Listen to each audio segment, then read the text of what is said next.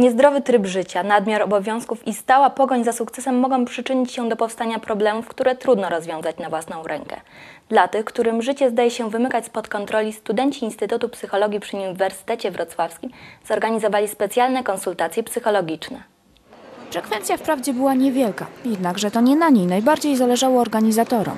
Kluczową kwestią było ocieplenie wizerunku psychologa i pokazanie go jako osoby, która pomagając innym nie jest pozbawiona własnych rozterek. Próbujemy przełamać pewne stereotypy mm, związane z psychologiem, typu na przykład psycholog jak popatrzy to wie. Nie, nieprawda, nie wie. E, psycholog nie ma problemów. Ma, tak samo jak każdy inny, inny człowiek. Osobom chętnym do rozmowy zapewniono komfortowe warunki i pełną dyskrecję.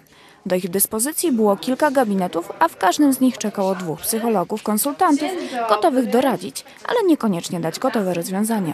My jako psychologowie nie staramy się udzielić konkretnych odpowiedzi, konkretnych instrukcji, co ta osoba ma zrobić.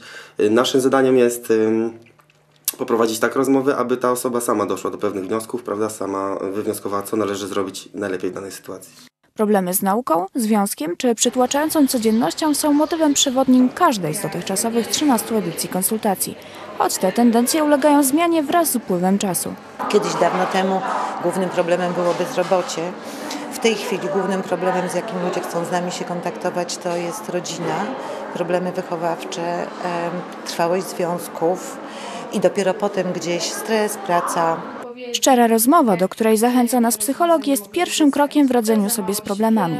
Może warto więc złożyć nasze dobre samopoczucie w rękach tych, którzy z pomagania uczynili swoje życiowe powołanie.